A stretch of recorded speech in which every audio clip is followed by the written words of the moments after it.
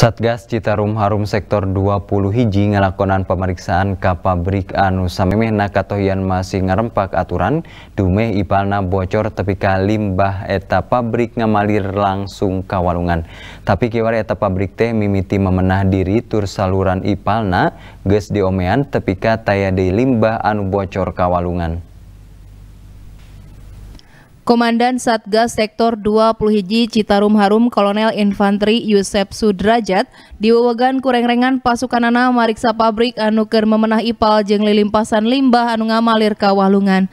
Satu tas kungsi disidak sawatara waktu katompernakeun babarengan jeung Dinas Lingkungan Hidup Kabupaten Bandung pihakna kiwari mere apresiasi pikeun eta pabrik anu dua anu samemehna ngarempak aturan dan sektor 20 hiji Citarum Harum Kolonel Infanteri Yusef Sudrajat nandeskeun pihakna ngalakonan satu tas sidak sawatara waktu katompernakeun. Pihak pabrik kiwari geus memenah sakumna panyalimpangan anu samemehna ka panggih. Sanajan kitu Yusef meredih eta pabrik anu dua sangkan nyorang rukun gawe jeung sakumna pihak lebah meresihan ngamalirna anak walungan anu dipapaisaan kuruntah. Eta hal teh kudu dilakonan sangkan dadasar walungan bersih tur nyinglar caah limpas dina anak walungan Cisangkuy nyaeta walungan Citalugtug. Menganalisa apakah ada percampuran zat kimia tertentu yang diolah dari PT ADTEK ataupun papirus baru 3 km bereaksi menjadi hitam.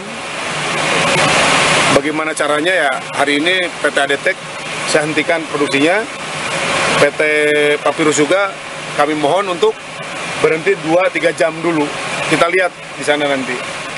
Sejeroning itu pihak pabrik bakal satekah pola ngomean ipalna sangkan lui HD. Kukituna limbah pabrikna mual tepika dipicen kalawan langsung ke anak walungan Citarum. Bahwa itu bukan kebocoran. Artinya luberan luberan karena ada masalah di instalasi yaitu di sibel. Di sibel ada trouble ada rusak. Langkah langkah ADTEK langkah kita akan mempersiapkan. Jadi bukan hanya satu sibel jadi akan dipersiapkan ready dan dipasang di sana di mana pas jalannya itu enggak 24 jam. Jadi on off on off. Rezi Tia Prasaja Bandung TV